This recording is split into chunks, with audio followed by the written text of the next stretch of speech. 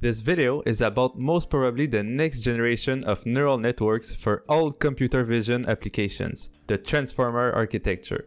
You've certainly already heard about this architecture in the field of natural language processing, or NLP, mainly with GPT-3 that made a lot of noise in 2020. Transformers can be used as a general purpose backbone for many different applications and not only in NLP. In a couple of minutes, you will know how this transformer architecture can be applied to computer vision with a new paper called The Swin Transformer by Z. Liu et al. from Microsoft Research. Before diving into the paper, I just wanted to tell you to stay until the end of the video, where I will talk about my newsletter I just created and the next free NVIDIA GTC event happening in two weeks. You should definitely stay or skip right to it as I will provide you with the timeline as usual because I will be hosting a giveaway in collaboration with NVIDIA GTC. This video will be less flashy than usual as it doesn't really show the actual results of a precise application.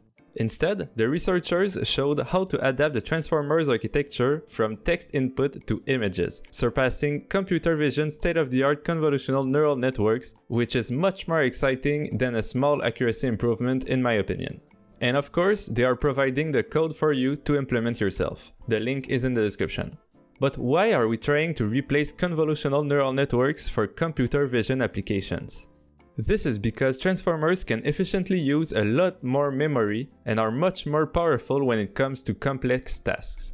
This is, of course, according to the fact that you have the data to train it on. Transformers also use the attention mechanism, introduced in the 2017 paper Attention is All You Need.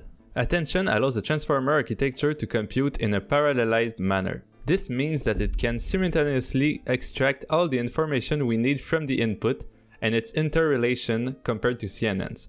CNNs are much more localized, using small filters to compress the information towards a general answer. While this architecture is powerful for general classification tasks, it does not have the spatial information necessary for many tasks like instance recognition. This is because convolutions don't consider distance pixel relations. In the case of NLP, a classical type of input is a sentence and an image in the case of computer vision. To quickly introduce the concept of attention, let's take a simple NLP example sending a sentence to translate it into a transformer network. In this case, attention is basically measuring how each word in the input sentence is associated with each word on the output translated sentence. Similarly, there is also what we call self-attention, that could be seen as a measurement of a specific word's effect on all other words of the same sentence. This same process can be applied to images calculating the attention of patches of the images and their relations to each other, as we will discuss further in the video. Now that we know transformers are very interesting, there is still a problem when it comes to computer vision applications.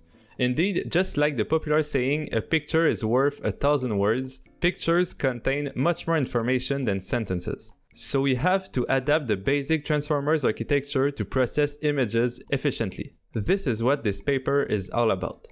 This is due to the fact that the computational complexity of its self-attention is quadratic to the image size, thus exploding the computation time and memory needs. Instead, the researchers replaced this quadratic computational complexity with a linear computational complexity to image size. The process to achieve this is quite simple. At first, like most computer vision tasks, an RGB image is sent to the network. This image is then split into patches and each patch is treated as a token. And these tokens features are the RGB values of the pixels themselves.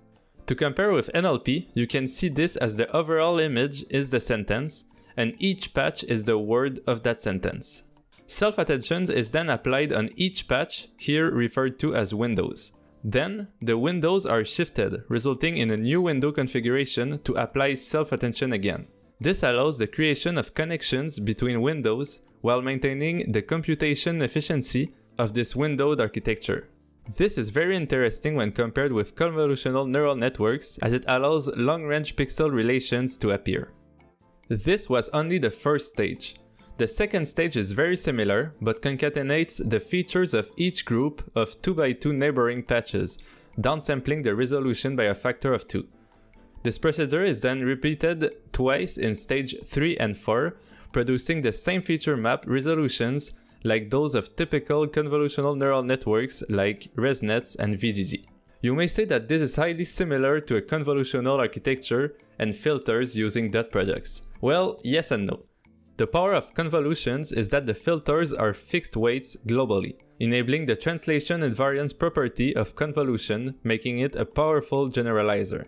In self-attention, the weights are not fixed globally. Instead, they rely on the local context itself. Thus, self-attention takes into account each pixel, but also its relation to the other pixels. Also, their shifted window technique allows long-range pixel relations to appear. Unfortunately, these long-range relations only appear with neighboring windows, thus losing very long-range relations, showing that there is still a place for improvement of the transformer architecture when it comes to computer vision.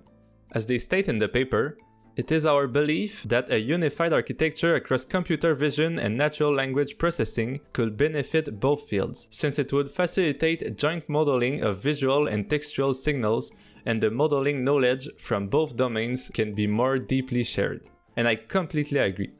I think using a similar architecture for both NLP and computer vision could significantly accelerate the research process. Of course, transformers are still highly data dependent, and nobody can say whether or not it will be the future of either NLP or computer vision. Still, it's undoubtedly a significant step forward for both fields.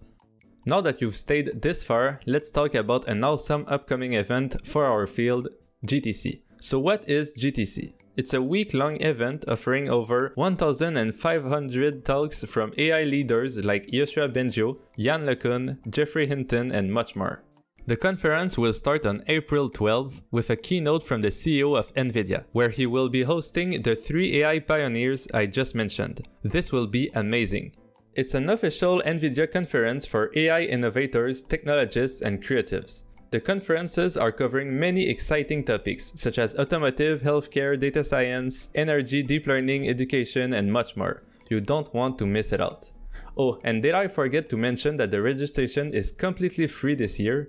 So sign up right now and watch it with me. The link is in the description. What's even cooler is that NVIDIA provided me with 5 Deep Learning Institute credits that you can use for an online self-paced course of your choice worth around $30 each to give away.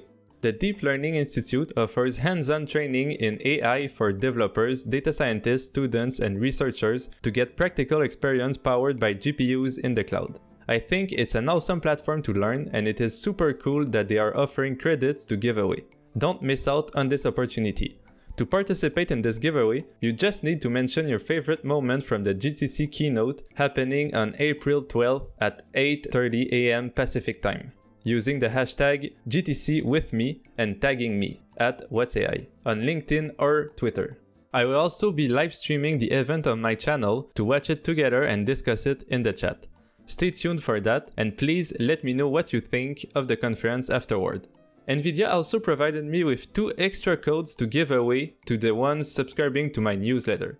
This newsletter is about sharing only one paper each week. There will be a video, an article, the code, and the paper itself. I will also add some of the projects I am working on, guides to learning machine learning, and other exciting news. It's the first link in the description, and I will draw the winners just after the GTC event. Just a final word as I wanted to personally thank the four recent YouTube members. Huge thanks to you, Ebikova, Tonya Spite Sokoya, Hello Paperspace, and Martin Petrovsky for your support, and everyone watching the videos. See you in the next one.